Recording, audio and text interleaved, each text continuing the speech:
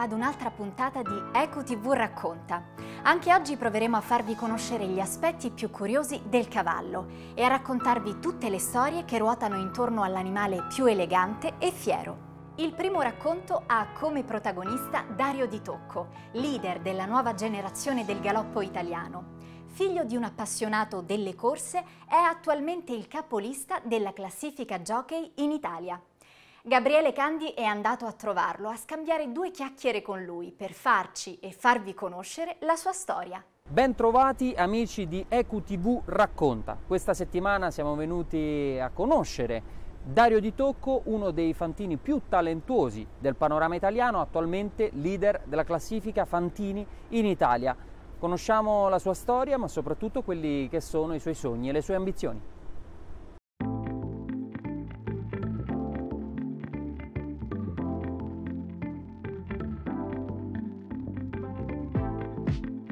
Ti aspettavi di essere a questo punto della stagione in testa alla classifica? Sai, c'era un po' di speranza anche magari montando dei cavalli adesso carini che mi danno sicuramente una grandissima mano alle corse, cavalli che di forma e mi aiutano tanto. Poi visto la classifica è un po', un po' a periodi, c'è il periodo dove magari sei un po' più di forma, dove c'è i cavalli tutti in ordine, ti danno un grandissimo aiuto e magari c'è il periodo un po' più buio. Adesso sta andando bene, godiamocela finché dura. Hai l'ambizione di arrivarci fino in fondo oppure dici vabbè è difficilissima, proveremo? Sai cos'è Gabri? Se le scuderie mi danno una fiducia, una fiducia giusta nei miei confronti e magari con i cavalli giusti ti possono dare un grandissimo aiuto e poi portarti avanti con le vittorie. Se magari queste scuderie non ti danno una mano è difficile adesso che è iniziata la, la, riunione, la riunione delle corse importanti, difficile andare avanti. Ecco. La tua storia è particolare perché tu non sei eh, nato in una famiglia ippica proprio al 100%. Tu, come ci hai raccontato altre volte, tu arrivi praticamente dal parterre di San Rossore, lì ti sei, ti sei appassionato, ma come, come, sei arrivato poi materialmente a diventare fantino? Cioè c'è stata una grande forza di volontà da parte tua? Sicuramente eh, avendo avuto una conoscenza di un grandissimo vecchio fantino Giovannino Fois che saluto e mi ha portato a conoscere Marco Gasparini e Francesca Turri. Loro penso con i ragazzi un, gli danno un grandissimo aiuto, ecco, ci dedicano tempo e sicuramente anche cavalli adatti per un ragazzino che vuole iniziare. A me mi hanno dato una mano, mi hanno fatto fare i primi passi in galoppo e poi mi hanno portato fino al debutto. Poi abbiamo vinto delle corse, mi ha dato una grandissima opportunità di diventare prima a monta, poi abbiamo diviso i nostri rapporti anche se a malincuore. Marco Gasparini è la persona più importante nella tua carriera al momento oppure c'è un'altra persona cui, che, che, che, ti ha insegnato tantissimo? Sai, si parte dal presupposto che Marco mi ha dato un'opportunità in mano di essere prima monta quando anch'io anche dovevo ancora venire fuori del tutto e poi ci sono grandissimi allenatori come Stefano Botti e Endo Botti che mi hanno dato un'opportunità anche ad arrivare a montare delle corse molto importanti per un grande, una grande autostima nei, confronti, nei miei confronti. Ecco. C'è un fantino a cui ti ispiri particolarmente anche nel tuo modo di montare? Fabio Branca. Penso che lui quando dicono alla magia, secondo me io credo a, questa, a volte a queste cose che gli rendono i cavalli. Ecco. Tra le persone più importanti c'era anche uno, una persona che è venuta a mancare da poco, Francesco Bruto, immagino che tu abbia avuto un ottimo rapporto con lui.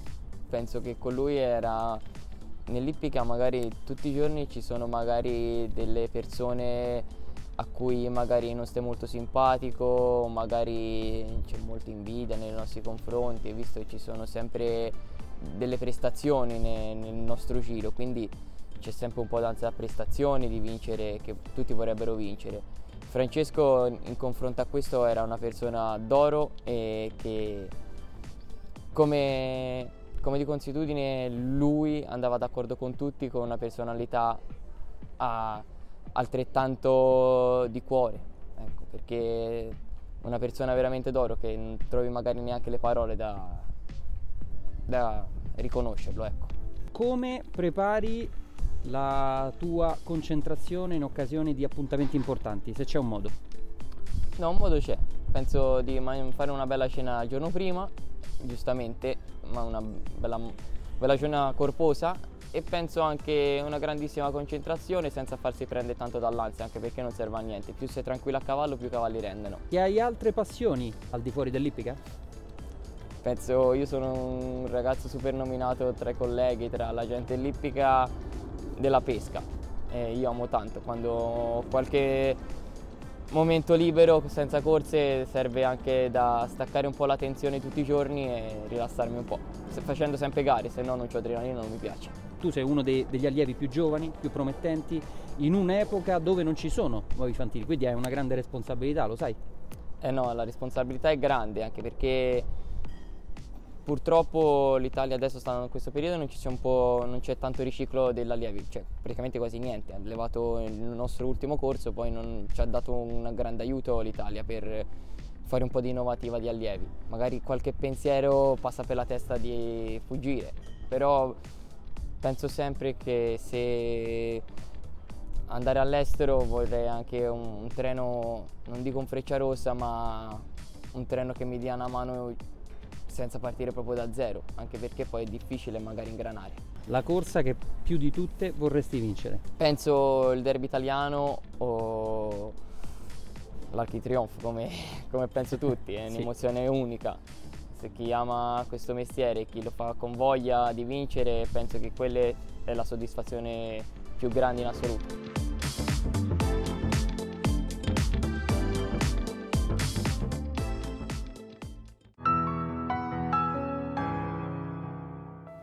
Destino era evidentemente scritto nel suo nome. Michele Di Francia, giovane professionista campano, ha vinto a Parigi sulla pista nera di Vincennes al primo tentativo.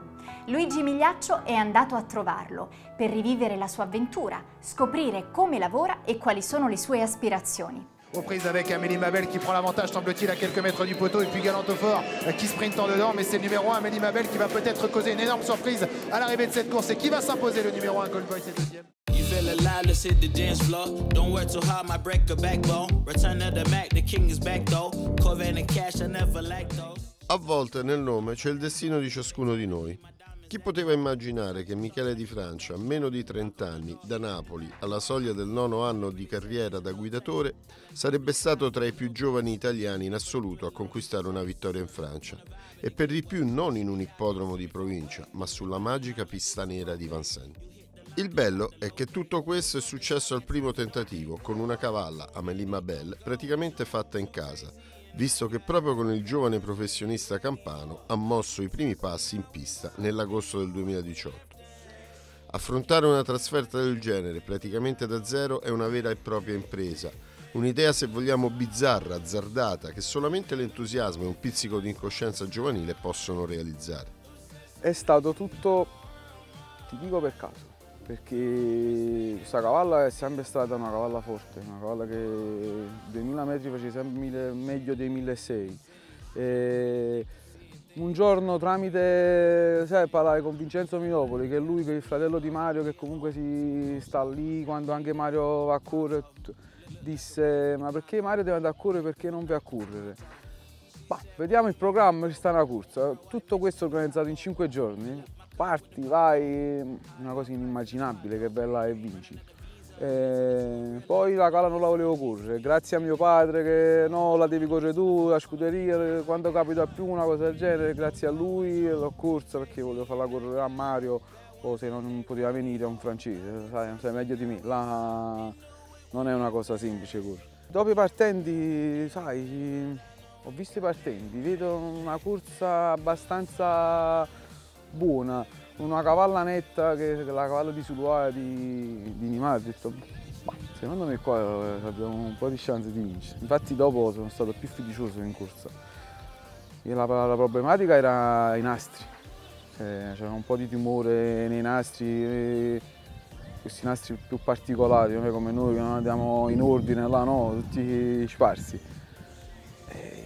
Fortunatamente tutto è andato come avevo previsto, nel senso che di prendere la schiena del favorito che mi portasse fino, a, fino al palo e penso che una corsa migliore di, di come è venuta non poteva venire. Fortunatamente la cavalla c'era e e ci siamo tolti penso una, una delle più grandi soddisfazioni che mi potevo togliere. Nei cavalli praticamente da sempre, grazie al papà, grande appassionato proprietario, Michele Di Francia gestisce anche un centro di allenamento a Licola alle porte di Napoli. In quel centro ha scuderia e allena i cavalli anche Mario Minopoli, soprannominato il francesino, proprio per essere stato un po' l'apripista dei professionisti italiani che negli ultimi tempi sempre più spesso hanno intrapreso la via dell'estero con i propri allievi. È stato uno dei suoi punti di riferimento quando ha mosso i primi passi e anche nella realizzazione di questa impresa. Abbiamo iniziato, ero ancora piccolo, io penso in dieci anni quando ho iniziato a fare i primi box. Poi fortunatamente piano piano mio padre con i fratelli hanno iniziato a fare qualche box, siamo con la struttura, siamo, prima nasceva che andavano soltanto a mare i cavalli poi avendo un po' di terra abbiamo iniziato a fare una retta, una retta di 600 metri. E adesso usufruiamo sia del, del, mare e della retta. E, diciamo che stanno diversi allenatori qui che si difendono in tutta Italia e Campania. Una caratteristica importante è lo sbocco sul mare, una striscia di spiaggia di circa 4 km dove sono molti i professionisti che finché la stagione estiva non entra nel pieno allenano i propri allievi e con grandi risultati. Qua è la spiaggia dove ci alleniamo quasi tutte le mattine, facciamo, alterniamo un po' di spiaggia un po' di retta. E qui è buono, è buono sì per lavorare un cavallo in acqua, il sabbione, facciamo tutto. Però l'acqua, specialmente per i cavalli più anziani, è una cosa sacrosanta. A me piace di più lavorare con i puliti. I puliti ti danno tutta un'altra un'altra prospettiva. Da quando c'è la collaborazione con l'allevamento Schwab eh, di Antonio, che, che ho anche qualche pulito in più suo, diciamo non ci possiamo lamentare. La vittoria a Parigi di Amélie Mabel, che qui ha mosso i suoi primi passi e qui si è allenata per quella trasferta vincente, è un risultato, un'emozione che ora diventa un obiettivo per il futuro. Avendo soltanto 29 anni è impossibile dire basta, non guido certo. più, alleno i cavalli chi, chi, li porta se non ti metti in mostra. Certo. E poi dopo è successo tutto questo avventura della Francia, nel momento facciamo sia guidatore che allenatore. In futuro se facciamo una scuderia grande è meglio allenare che guidare.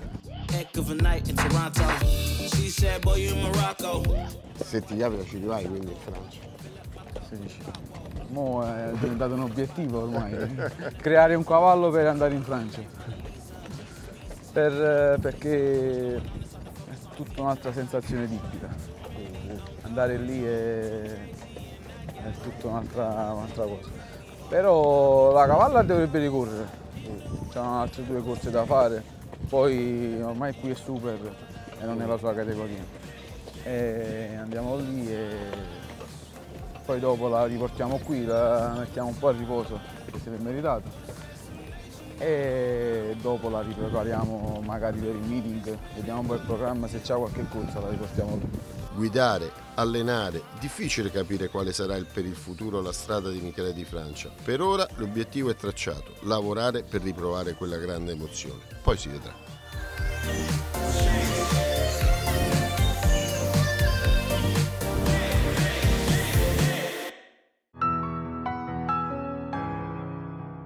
La vincitrice del premio Andreina Full of Champagne si prepara a correre il Seregno. Nel centro di allenamento Le Lame si respira quindi aria di festa, ma si sogna anche perché, come dice l'allevatore della cavalla, ovvero Ranieri Delce, sognare non costa nulla. Il servizio di Sandro Marranini.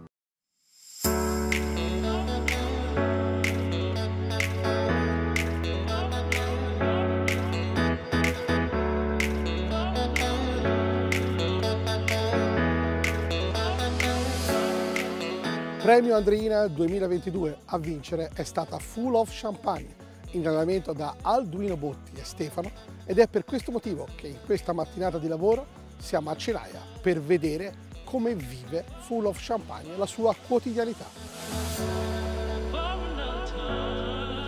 Full of Champagne è nata eh, diciamo, sotto una stella favorevole e fortunata perché eh, ci è stata offerta alla mamma francescana eh, come una delle cavalle che erano selezionate per poter fare dei de bei mezzo sangue. Eh, la discriminante è stata a pancia, a sensazione, eh, la gravidanza di Full Drago, mm, perché sia io che Marco, il mio socio diciamo, storico e amico da ormai cinquantennale, eh, abbiamo scelto lei con la speranza di poter portare un Full Drago in corsa, visto quello che aveva dimostrato il padre nella sua carriera agonistica. E da lì è, diciamo, la scelta è stata di pancia. La cavalla andava bene, però le aspirazioni erano tante, però in maniera molto serena e tranquilla, ecco, senza grossi ehm, condizionamenti anche da parte di tutto lo staff. Ecco. Full of Champagne che prova a allungare in corda, sta allungando. Full of Champagne, My Lovely Marty, Lethal Woman, Bionda Bella, Full of Champagne che allunga e si mette abbondantemente al sicuro. Full of Champagne che vince. La vittoria di San Rossore è stata una vittoria abbastanza importante dove la cavalla ha dimostrato qualcosa, e però mh, in maniera serena noi abbiamo cercato di viverla in maniera mm, più tranquilla possibile perché i cavalli lo devono dimostrare successivamente poi quello che valgano. Ma una cavalla che può dare delle speranze, che diciamo ha le, le carte in regola per essere una cavalla interessante. Lo pensavi già prima della Maiden di San Rossore?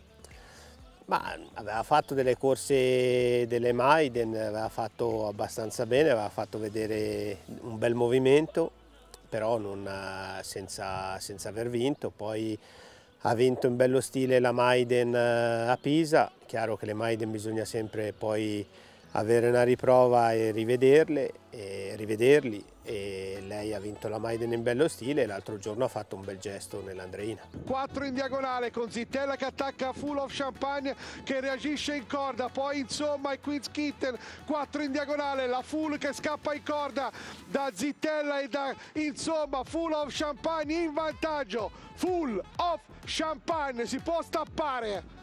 Ti aspettavi che potesse essere una cavalla da Andreina? Ma una calla che si è sempre mossa bene, il fisico non le manca, un buon carattere e tutto, al mattino aveva fatto vedere delle cose discrete, chiaro che dopo la conferma la doveva dare in corsa. Il mio primo cavallo è stato un cavallo da siepi, quindi puro sangue che ha corso anche a Pisa, eh, come ti dicevo prima. Eh, poi abbiamo avuto altri cavalli tra i quali Irano che è quello diciamo mi ricordo di più che ha vinto qualche corsa. Poi c'è stata una scissione diciamo, della società, siamo rimasti io e, e, Marco Vespa, ci siamo messi a fare gli allevatori di mezzo sangue, eh, tra i quali Servio Tullio, Robolt, eh, sono quelli che comunque hanno ben figurato negli ippodromi poi ne abbiamo comprati altri due perché nel frattempo avevamo smesso di fare gli allevatori perché ci eravamo un po' stancati i costi e in due insomma da sostenere erano un problema e niente quindi abbiamo comprato anche due cavalli comunque sono arrivati al palo anche loro e poi c'era ripresa la voglia di, di allevare e quindi il progetto è questo. Avrete pensato a un Regina Elena o no? No, no, no, no. noi eh, andiamo avanti passo per passo, eh, portiamo avanti il, il, discorso che ci ha sempre fatto il nostro allenatore Stefano Botti, eh, di andare avanti step dopo step. Fu il drago l'ho allenato, era un callo, un passistone come, come del resto lei, che gli piaceva correre in testa e andare via sul passo e lei ha preso molto dal padre. È una cavalla che può ambire a qualcosa di più della semplice condizionata dell'Andrina? Ma questo è quello che ci auguriamo. Sicuramente adesso così si parlava con i proprietari, la cosa più logica potrebbe essere il, il Serenio e poi da lì vedere se può dare delle buone conferme per il Regina Elena, andare nel Regina Elena, se no valuteremo il da farsi. Ci deve pensare lui. Siete già contenti così? Noi siamo, eh vabbè, siamo su una nuvoletta, come ho detto a tutti, e siamo felici di essere lì. Ecco, poi ce lo dirà lei e ce lo dirà Botti quello che, che deve fare, può fare e dove può arrivare. Ecco, chiaramente si spera di arrivare più in alto possibile, però questa è un'aspirazione, è un sogno, tanto non costa niente.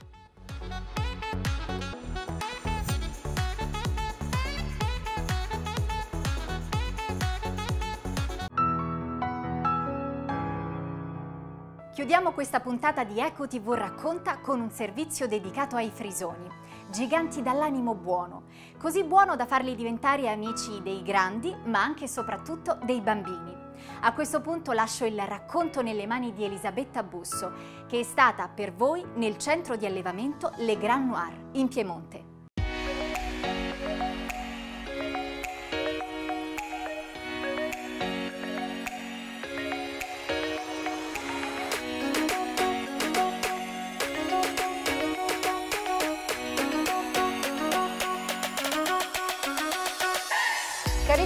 Amici, buongiorno e ben ritrovati. E allora noi proseguiamo il nostro viaggio dopo i Baroc Pinto. Oggi siamo qui su questa magnifica carrozza a presentarci questi magnifici frisoni e ritroviamo Stefano. Ciao Stefano, buongiorno. Buongiorno Elisabetta, buongiorno a tutti. Sono eh, l'allevatore di questa magnifica razza, allevamento Le Grand Noir. Siamo oggi, sono contentissimo di avervi qui per presentarvi quello che è questa razza ormai molto conosciuta perché è utilizzata in tantissimi set fotografici e film.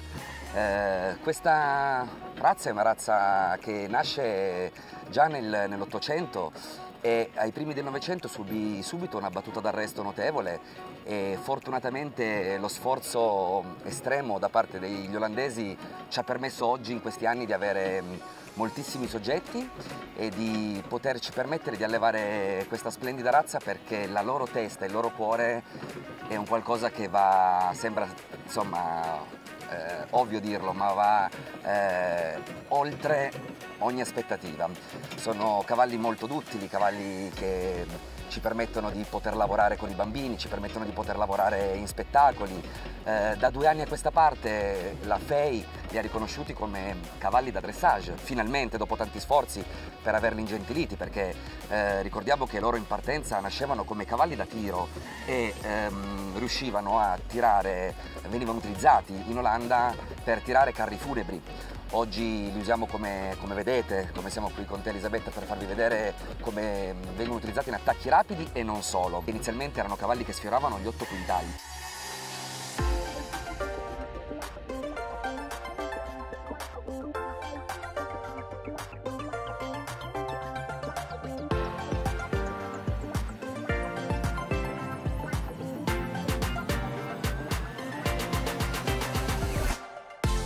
Siamo arrivati in questo campo coperto dove a farci compagnia c'è questa magnifica creatura che si chiama Iggy. Iggy. Chi è? Si chiama Iggy, è un, uno dei nostri cavalli frisoni, 7 anni, è un cavallo che stiamo utilizzando in riprese di dressage eh, basilari attualmente, categorie E e F. Il dressage è una disciplina degli sport equestri dove eh, viene valutato eh, la qualità dell'esercizio che il cavaliere chiede al cavallo.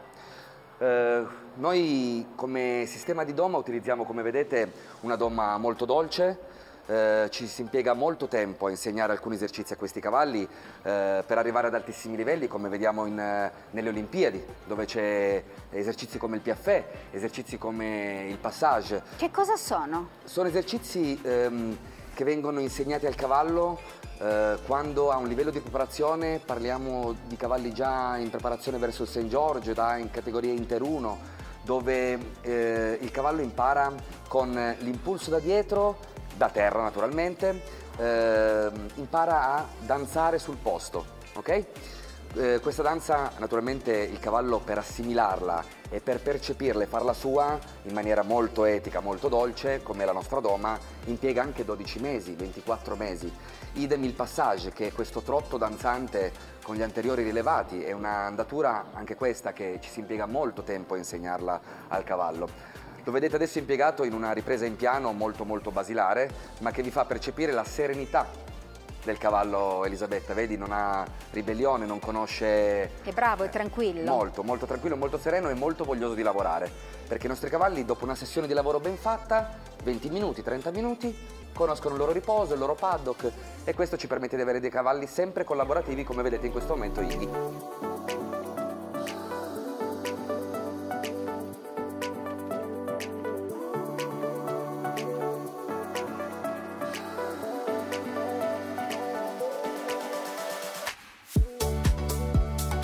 Questo è il paddock dove risiedono le nostre fattrici, sono tutte cavalle frisone, come vedete anche puledre baroque pinte e sono cavalle molto giovani, dai 4 agli 8 anni.